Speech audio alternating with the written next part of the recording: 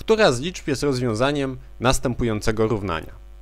Tym razem mamy równanie kwadratowe i przejdźmy do jego rozwiązania. Na początek przepisujemy lewą stronę i początek prawej bez zmiany, a po prostu wymnażamy minus 2x razy nawias 1 minus x, aby się pozbyć tego nawiasu. W rezultacie otrzymujemy minus 2x plus 2x kwadrat.